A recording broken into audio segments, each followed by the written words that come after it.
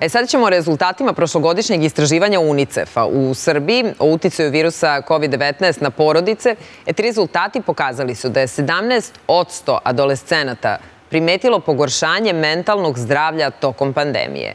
Istraživanje je pokazalo da je 43% deca uzrasta 7 do 12 godina i 44% adolescenata uzrasta od 13 do 17 godina imalo poteškoća sa koncentracijom.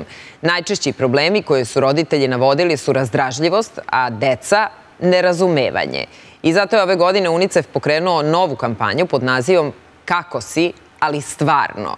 I to u cilju podizanja svesti o važnosti očuvanja mentalnog zdravlja kod mladih.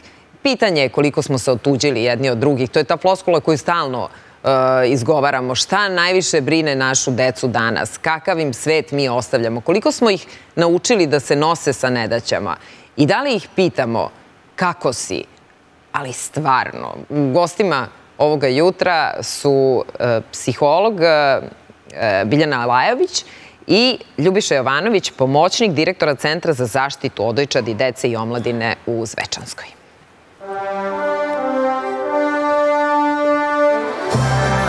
Dobro jutro, dobrodošli. Bolje vas našli. Dobro jutro, dobrodošli.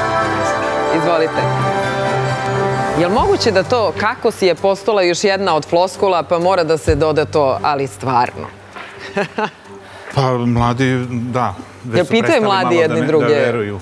Ali pitaju... Da li su zaista zainteresovani? Da. Da li smo mi odrasli zainteresovani za njih ili oni da li su zainteresovani jedni za drugi?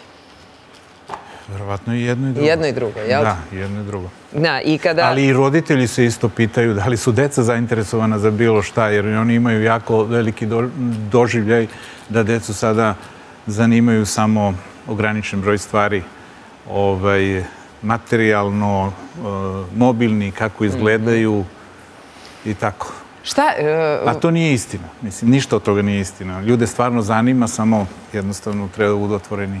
Dobro, ali kada se radi bilo koje vrste istraživanja, onda e, mi stalno volimo da ističemo to da smo mi svi individue, pa da su i naša deca individue, da nije generalizacija. Ako imate dvoje deca u kući, možda će jedno biti vezano za gedžete i imati e, smanjenu pažnju za komunikaciju, a drugo dete će voleti da crta. Dakle, ništa nije e, ništa nije isto za svako dete. Ali šta je to što ste primetili da se ponavlja kao matrica kod mladih?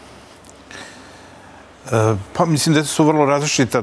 To jeste veliki problem kod roditelja koji imaju određeno iskustvo sa prvim detetom, pa misle da to isto treba da bude i sa drugim detetom. Naravno, ako je prvo dete bilo nekako lako za vaspitanje, a to se ponekad dešava, prva deca su obično ovaj, više odgovorne, obično, ne kažem mhm. uvek, i onda e, e, sa drugim detetom dožive nešto sasvim drugo i onda se pitaju da li je to normalno i da li ovaj, i plaše se da će to okrenuti u nekom lošem smeru i tako dalje. Ali ovaj, sva pravila, sve što bi mi ovde rekli, e, negde na individualnom planu se može promeniti, može biti drugačije. Ovaj, ali svakako da taj odnos e, zapravo kreira e, kako će e, se kasnije dete razvijati i kako će ovaj, biti na kraju krajeva i sa tim njegovim mentalnim zdravljem. Ja moram samo da kažem za početak da današnje shvatanje mentalnog zdravlja je drugačije od nekadašnjeg, koje se nekako najviše Pa, e, u smislu da se e, ranije pod mentalnim zdravljem pre svega podrazumevao odsutstvo bolesti. E, danas se o mentalnom zdravlju, e, mentalno zdravlje svih ljudi, ne samo mladih, shvata kao opšte blagostanje, kao jedan, jedna integracija fizičkog, psihičkog i socijalnog. O, e, tako da... A šta znači kad kažete za dete? Mislim, taj pojem anksioznosti je nešto što je uvedeno i kod odraslih predno 20 godina, 15-20 godina, kao kao vrlo često objašnjavanje vaše psihičkog stanja. Anksiozan sam ili anksiozna sam. A danas to često se pominje i kod dece. Kako izgleda anksiozno dete? Kako se manifestuje anksioznost kod deteta? Kako vi ustanovljavate da je neko dete e, anksiozno? E, nama je poznat e, osjećanje straha, ali anksioznost zapravo je jedno nespecifično osjećanje straha gde vi nemate konkretnu stvar o kojoj se plašite, nego kao osjećate se nekako napeto, ugroženo, teskobno, iznutra. Obično je tu dijafragma, da kažem tako, zahvaćena. Tu se osjeća ta teskoba i ide tu negde pred grudi, a, ovaj, a da vi ne znate čega se plašite i šta vas u stvari ugrožava. To je jedno opšte osjećanje koje ne mora da bude mnogo jako, ali može da bude celodnevno, može da bude vrlo često i e, troši organizam a može da bude i baš i vrlo jako kada izaziva panične napade i tako dalje, sa nespecifičnim kako da kažem, nema objekat na koji se usmerava. Znači, vi ne znate čega se plašite. Razumem. I kako ste videli da se deca nose sa tom vrstom osjećanja? Sa anksioznošću? Pa sa tim se jako teško nose i odrasli, a kamoli deca. Deca teže ovaj, pridaju značenje stvarima, teže razumeju. Eh, mada imaju velike kapacitete da shvate kad im se lepo objasni i kada se objasni onako prilagođeno njima. To je sad suština. Ja ne bih samo da pričamo ovde o tome šta nam donosi problem. Ja bih da pričam i kako da, taj, kako da odgovorimo na taj problem. Jedna od veoma važnih stvari da se iskomunicira sa detetom, da mu se prevede to što osjeća, da mu se pojasni, da se umiri na neki način, da se prevede u neko osjećanje konkretno. Jer anksioznost je jedno nespecifično osjećanje koje, kako da kažem, vi ne znate šta s njim da radite. Dobro, ali kako ga prevodite? Šta kažete detetu? Znači, ono što je važno, to je da se prepozna šta, koje je pravo osjećanje iza toga stoji. Da li je to tuga, da li je to ovaj, e, e, ljutnja vrlo često, se to izmešano nekad. Kad se izmeša, izmešaju osjećanja, onda vi imate taj osjećaj teskobe i anksioznosti, jedne opšte ovaj, ugroženosti organizma u kojem ni odrasli ne znaju da kažu kako se tačno osjećaju, a kamo li deca? Da, i moram da vam kažem nešto, e, htjela sam to da vam kažem vam programa, ali nismo stigli da porazgovaramo i reći ću vam u programu. Pričala sam sa jednom prijateljicom pre e, nekoliko dana i onda mi kaže sledeće. Danas je jako teško kada imate tinejdžera da e, zaključite šta je to loše što on radi van kuće. Pošto deca i ne piju ako se bave sportom i tako dalje, Kaže, ranije mi kad zapalimo cigaretu, mama i tata dođu pomirišu te i znaju da li pušiš. Danas je kod mladih, ali bukvalno u 90% slučajeva prisutan taj neki vape, vibe, kako li se zove, i e, snus. Dakle, to je nešto što koriste sportisti, to je neka vrsta e, cigarete koja je jednokratna, jednodnevna, oni to E, puše i to im smiruje anksioznost. A dođu u kući, roditelji, to ne smrdi, jel tako, roditelji to ne mogu ni da prepoznaju. Dakle, da li su deca iz neprepoznavanja roditelja da su uznemireni, pribegla nekoj vrsti smirivanja kroz nešto što više nisu cigarete, nego su neke vrste opijata koje se kupuju tako na ulici, u trafikama. Ste čuli za to? Jesam čula, ali ste pitali jako široko. Znači, pitanje je onako, zahvata mnogo stvari. E, ja se potpuno slažem sa tim što ste rekli, E, treba da se prepoznaje osjećanja, ali je ozbiljan problem što i mi odrasli ne prepoznajemo svoje osjećanja. Pa jednako kao što deca govore, ja sam stvarno je toliko modern taj izraz anksiozan da, da se ja kao psiholog trudim da ga ne koristim jer je počeo da bude... Sjećate se kako je bila moda od smaranja. Sve je smaranje i sad vi treba da identifikujete šta se iza toga krije. A možda se krije tuga, možda se krije dosada, šta god hoćete. E, tako je sad ta anksioznost postala toliko moderna da vi u stvari nemate pojma o čemu vam neko priča. Morate da ga pitate više puta. E, smatram da bilo koje traženje tih pomagala sa strane nije dobro rešenje i da mladi tome pribegavaju jer ne znaju šta da rade. A najgore što ni mi odrasli nekad ne znamo. Kolega je lepo rekao, vi razgovarate s detetom, ali vi imate roditelja koji ne znaju da razgovaraju s decom. I vrlo često kad pitate roditelja, ja sam sa jako velikim brojem roditelja razgovarala, e, jesi pričao sa detetom ili pričala o tome, jesam, sve sam mu lepo rekla. A šta je dete radilo? Slušalo i gledalo me. Ali te razumelo? Pa valjda jeste. Pa kako znaš? Pa gledalo je u mene. Znači, nema interakcije, nema komunikacije. Vi održite monolog, ono što se ranije zvalo predavanje, dete ovako gleda, vi mislite da vas je čulo, možda jeste ušima, ali nije dopalo do njega. Razmišlja u sebi, dobro, ovo će da prođe ovo brzo. Ovo će da prođe, ona će to da ist... Inače ona ili on to ispriča. Ja sam tu rečenicu čula bezbroj puta. Mm. Samo se strpi da prođe. To znači, ona, majka ili otac će da ispriča šta ima, ili nastavnik da ispriča šta ima da ispriča. Kad se to završi, ja ću oteram po svome. Nema prave komunikacije. I ono što ste na početku pitali kako ste, ali stvarno, to je nama inače problem. Koliko puta, evo, mi smo se srele, pa ste vi mene pitali kako sam, ja sam vam odgovorila, a vi ste meni na to odgovorili. Ja sam videla da ste vi čuli šta sam ja rekla.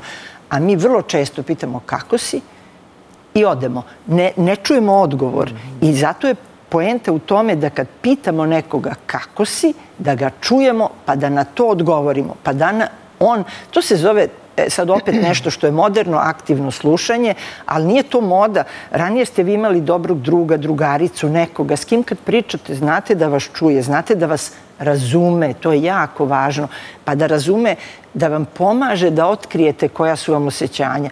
Nekad ste ljuti, nekad ste tužni, nekad se bojite, Pa logično je da, da nešto radite s tim.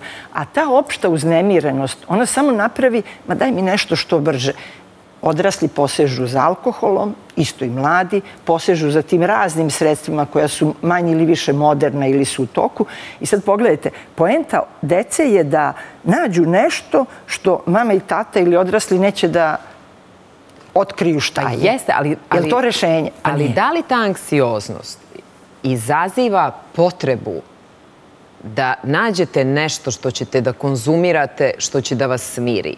Da li je danas anksioznost diagnoza kod velike većine dece, omladine, tinejdžera? Ja mislim i kod odraslih, znači da je to Ja ne bih upotrebila reč diagnoza, ja bih rekla neko stanje. Stanje, pa kako I ako god. ne posegnemo za pravim rešenjem, onda ćemo ići sve dublje i dublje. Znači, alkohol, evo, vi ćete reći da li sam u pravu ili ne.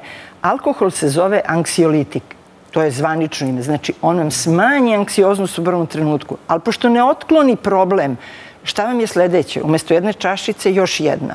Umesto te, tog da kažem, cigarete, VD cigarete ili kako god bi nazvala, od podne do jedan, aj do dva, aj do tri, aj ceo dan, dok ne dođem kući. Znači, samo tonete dublje i dublje. Nijedan problem koji se stavi po tepih ili se rešava e, simptomski nije rešenje. Vi morate da otkrijete šta vam je, morate s nekim da razgovarate, morate da razgrnete svoju dušu i da onda vidite kako se rešava. Sa roditeljima? Pa, meni je prva pomisa o roditelji, ali vi ako imate, ako roditelji imaju problem pa ne umeju to da urade, onda bi roditelji trebalo da uče kako da otkriju ta osjećanja ili da međusobno bar pričaju o tome. Da li ta anksioznost, opet da se e, vratim na nju, izaziva agresiju? Ili nužno ne? E, ništa nije nužno i ništa nije prava linija. U psihologiji nema prave linije gotovo po pravilu. E, e, znači, ne mora nužno da bude to. Može da bude povlačenje u sebe, može da bude zatvaranje, može da bude stalni boravak na društvenim mrežama gde vi imate takozvano sigurno okruženje koje uopšte nije sigurno, a može da se pretvori u agresivno ponašanje. Znači, ceo dijapazon ponašanja je na raspolaganju i on je veoma individualan zavisi i od ličnosti, i od porodičnog okruženja, i od društva. Neće na isti način na anksioznost da reaguju, kao što smo malo prepričali, jedan norvežanin i jedan španac i jedan stanovnik Srbije. Sigurno, jer je kulturološki to takođe uslovljeno. Ali ja bih nekako volela da istaknemo da ako ne pronađemo šta stoji iza toga, da ako se samo bavimo posljedicom, mi nismo ništa dobro uradili. Da, i cilj kampanje ove kako si, ali stvarno je u stvari, ako je moguće, prevencija u cilju poboljšanja je tako, mentalnog zdravlja. Vi ste na e, mestu, inače ste psihoterapeut, ali ste na mestu pomoćnika direktora e, u Zvečanskoj. Recite mi, e, jel viđate u Zvečanskoj ovo što sam postavila kao pitanje, dakle, te razne Pa konkretno to ne, naravno to se i krije, ali e, sigurno ima e, raznih naša deca koja su bez rodinskog staranja su sada i ciljna grupa. Ranije to nije bilo toliko, ja sam mogu slobodno da kažem da se ređe dešavalo da su naše deca zavisnici, Ali sada... A to nisu zavisnici, kako da vam kažem, to je kao što Dobro, sad govorim i o zavisnosti, ali e, ni probatori, i to se ređe dešavalo. Međutim, sad su bukvalno ciljna grupa, sad im nude ovaj, na svakom koraku, jer njihova njihovo ovaj, emotivno stanje pogoduje tome, oni su vrlo često nesigurni i e, ovaj, posežu za raznim vrstama umirenja, zaboravljanja na probleme i tako smanjenja te anksioznosti i drugih ovaj, dosta ovako nepodnošljivih stanja i, i, i emocija. Tako da, svakako da je to da su oni ovaj posebno izruženi i ugroženi. Kako im, kako ih e, spremate za život? Dakle često će deca čuti od roditelja to što imaš u kući, to nećeš imati na polju. Dakle, to što si ušiškan u kući, što živiš e, sa puno ljubavi, što si bezbrižan ili bezbrižna, to te u ovom zlom svetu, kad otvoriš vrata svoje kuće, ne čeka. A kako se razgovara sa, sa decom koje su u Zvečanskoj? Kako ih spremate na život? Pa, prvo, deca, nažalost, u ustanovama socijalne zaštite prevode previše dugo vremena, zato što su iscrpljene mogućnosti ove porodice i zajednice da, da se one reintegrišu i vrate ili da se nađe neka zamenska porodica. I u tom kontekstu mi ovaj, postajemo neko ko je previše važan za dete vaspitači postaju previše važni za dete. E, zapravo, dete uvek treba da ima neku primarnu figuru za koje je vezano. To pre svega treba budu roditelji, baba, deda, strina, strici, ujak, znači rodbina ili porodični prijatelji. Neka naša deca nemaju ništa od toga, oni sve očekuju od nas i svaku ulogu. Znači, mi smo njima i tata i mama i ne znam, nija čak nekad i, i, i simpatija i slično. Prosto deca, e, tačno vidite e, šta njima nedostaje u životu e, na osnovu toga šta projektuju vas, odnosno koju ovaj, emociju. Tako da, ali najvažnije za odraslog i za roditelja i za one koji rade sa decom bez vojskog staranja jeste da budu dostupni, responsivni, da omogućavaju detetu da se izrazi, da dete ima neko mesto gde će ga poštovati i gde će ga uvažavati, da bude, da se osjeća vredno ovaj, za, za one sa kojima je i onda se smanjuje i agresivnost i anksioznost i tako dalje. Znači, jedno od najvažnijih osobina ljudskih, a i dečih posebno, jeste da se osjećate vrednim za onoga koji je vama najbliži.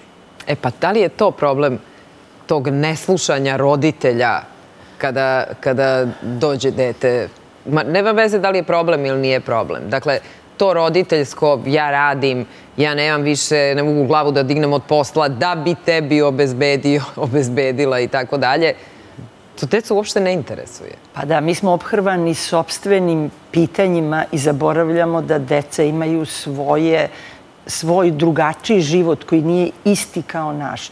Ali ono što ja mislim da veoma nedostaje, to je suštinsko poverenje i iskrenost između dece i roditelja. Znači, mora da se, ako roditelj pita dete šta je danas bilo u školi, ja se vratim povrmeno na to, i dete krene da govori, a roditelj se javlja na telefon i kreće da priča, gotovo, kraj komunikacije, jer će dete reći, kao što je rekao kolega, on me ne ceni, ne uvažava me, nema vremena za mene. Isto što će reći taj roditelj kad mu to uradi bilo ko, je li tako? Isto, isto. Znači, mi kao da imamo dvojne standarde, e, da, da svojoj drugarici vi to uradite, ona bi vam treći put rekla, neću to vam da pričam, isključi taj telefon. A da vam dete kaže, isključi taj telefon, vi biste rekli, kako si bezobrazan. Kako razgovaraš to, sa mamom? Kako razgovaraš sa ocem i majkom. Jer ti znaš da je to meni za posao i krećemo u svoj monolog mhm. ponovo. Znači, ja se vraćam na to da moramo da imamo poverenje, da čujemo jedni druge i da znamo da odgovorimo. Ako vam dete kaže danas je u školi bilo to i to, aj bar postavite četiri, pet pitanja. Da li roditelji danas, na primjer, znaju s kim dete njihovo sedi, s kim se druži? Šta se desilo? Da li, ga je neko, da li mu je neko nešto rekao bez veze? Da li mu se neko sviđa u odeljenju? Komu se dopada? To su neke stvari koje roditelji ne pitaju. Pitaju šta je bilo u školi, ja govorim o toj deci školskog uzrasta i šta si dobio, si odgovarao ili nisi. Ako jesi ili nisi, daj da ti nađem nastavnika matematike, fizike, ne znam čega, da ti pomogne. Dete, to nije pomoć. To je brigo moja pređi na drugoga. Ja možda ne A šta je pomoć? Pomoć je da ga čujemo. Prva i najvažnija stvar, kao u bilo kom odnosu, je da čujemo šta nam dete priča. Postoji ta neka formula, zdravo, zdravo, kako je bilo u školi? Jeste, kako je bilo u školi. A dete kaže, pa dobro. A onda vi kažete, vi morate da pitate, onda vi kažete, a jesi nešto odgovarao? A on kaže, nisam. A vi kažete, pa kako to, je li neko drugi nešto odgovarao? A on kaže, jeste pera. A vi kažete, a šta je pera odgovarao? Znači, vi morate od najmanjih, od najmlađeg uzrasta da učite dete da vam odgovara. Znate, se sećate u školi punim rečenicama i detaljno. Ako je samo da, ne, da, ne, vi gubite interesovanje, ono gubi, a to onda liči da me ne interesuje. Jer ja tako, deca tako čitaju to. Ja sam se mnogo dece pričala, ja, mama me pita i ja kažem jeste, nije, ona kaže dobro i okrene se i ode. Ili pere sudove. Pa ne mogu ti sudovi da se peru zajedno s detetom i da se priča? Mi smo ponosni na svoj to, kao možemo sto stvari u isto vreme, a onda decu tamo negde gurnemo, a sto stvari u isto vreme podrazumija držim telefon i da pričam s drugaricom. Ili za posao, ili za nešto treće, četvrto. Samo mi recite da, za kraj ta akcija UNICEF-a, kako će izgledati na terenu? Pa tu ima raznih. Ovaj, jedna od stvari jeste da se edukuju i podrže oni koji brinu o deci, a to su ovaj, u ovom slučaju prvo i e, profesionalci koji rade u školama, zdravstvenom sistemu, mhm. socijalnoj zaštiti i i, ne, i ovaj, nevladinom sektoru koji pružaju usluge socijalne zaštite i druge usluge.